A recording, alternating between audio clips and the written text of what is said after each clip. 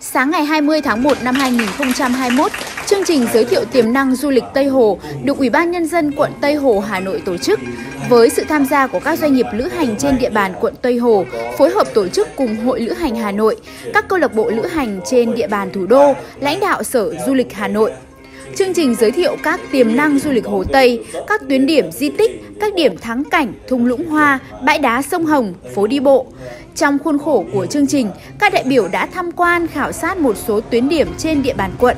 Điểm khảo sát đầu tiên là chùa Vạn Niên trên địa bàn phường Xuân La. Được biết đến là một ngôi chùa cổ linh thiêng giữa lòng Hà Nội, tọa lạc trên đường Lạc Long Quân, Tây Hồ, Hà Nội. Chùa Vạn Niên được xây dựng vào năm thứ hai Thuận Thiên, tính đến nay đã trải qua cả ngàn năm kể từ ngày Lý Công Uẩn rời đô từ Hoa Lư, Ninh Bình ra kinh thành Thăng Long, nơi dừng chân của rất nhiều du khách. Chùa còn lưu giữ bộ di vật gồm hơn 40 pho tượng tròn và 10 đạo sắc phong thần của thời Lê, Tây Sơn có giá trị tâm linh lịch sử và văn hóa nghệ thuật cao, còn có bài ký trên chuông đồng, vạn niên tự trung, đúc vào đời Gia Long,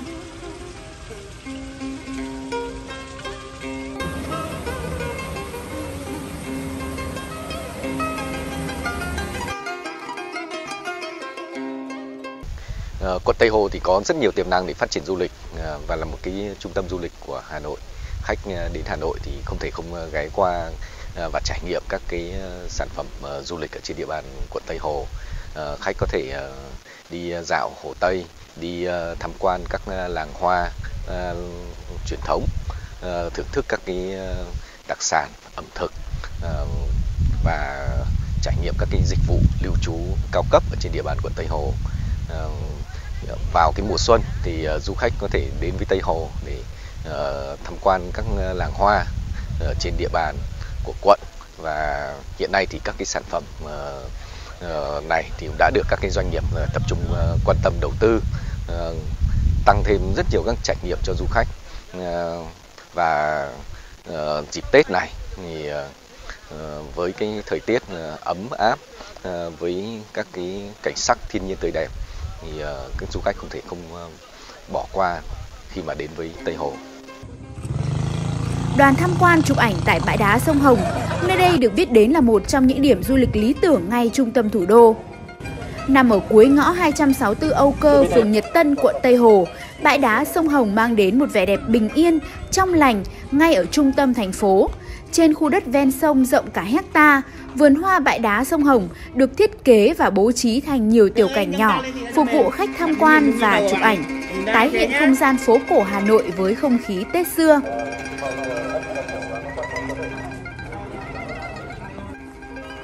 Khung cảnh bình yên với bãi cỏ trải dài nằm ngay sát bờ sông Hồng, các loại hoa đua nhau khoe sắc, đoàn có trải nghiệm hết sức độc đáo được hái và thưởng thức dâu tây ngay tại vườn, điều mà trước đây chỉ có ở Đà Lạt hay các vườn dâu ở các tỉnh miền núi phía Bắc.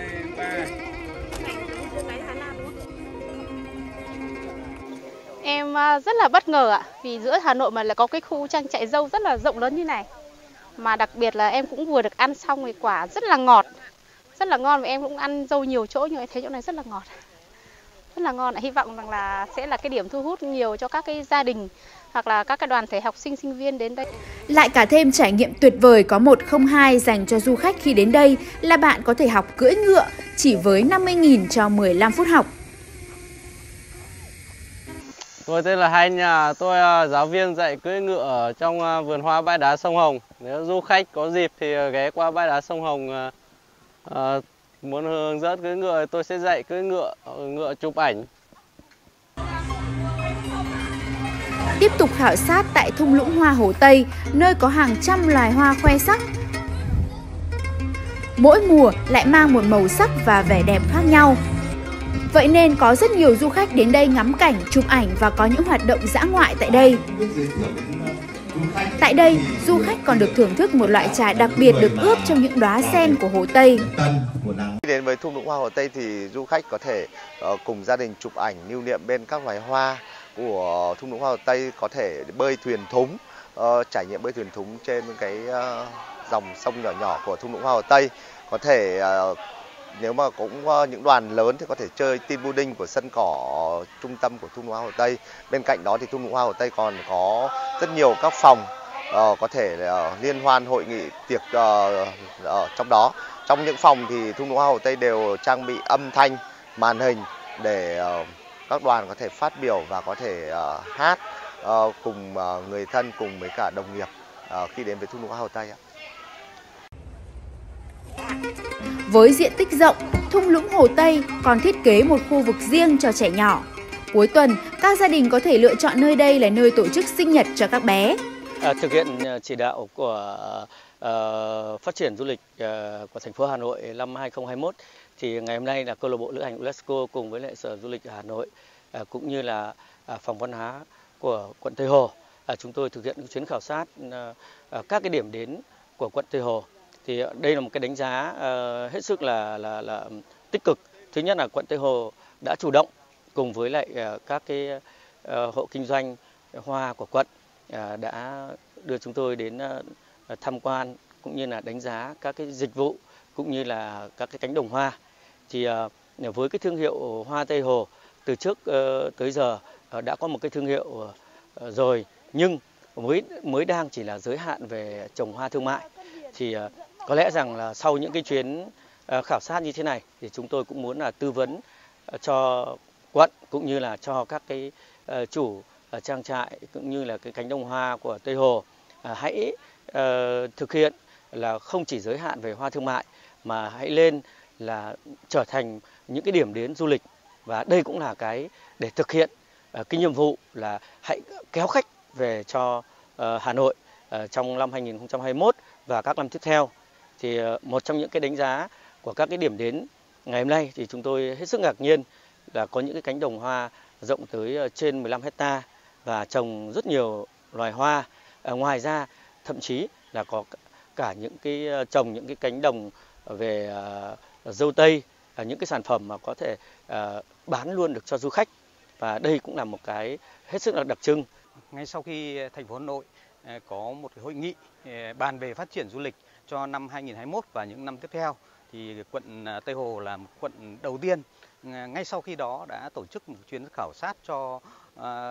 gần 70 doanh nghiệp du lịch tham gia một cái chuyến khảo sát của một quận trên địa bàn thành phố Hà Nội. Thì rõ ràng chúng tôi thấy đánh giá rằng là một cái sự chủ động của các cấp chính quyền địa phương cũng như các doanh nghiệp trên địa bàn và À, đặc biệt là những cái doanh nghiệp lữ hành à, du lịch ở trong thành phố Hà Nội.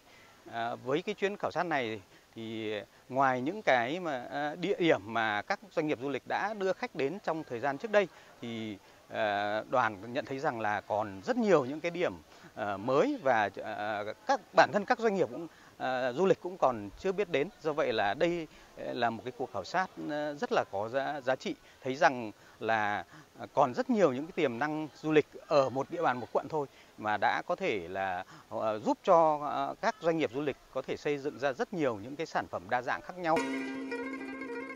Đoàn khảo sát hệ thống dịch vụ tại khu văn hóa ẩm thực Sen Tây Hồ.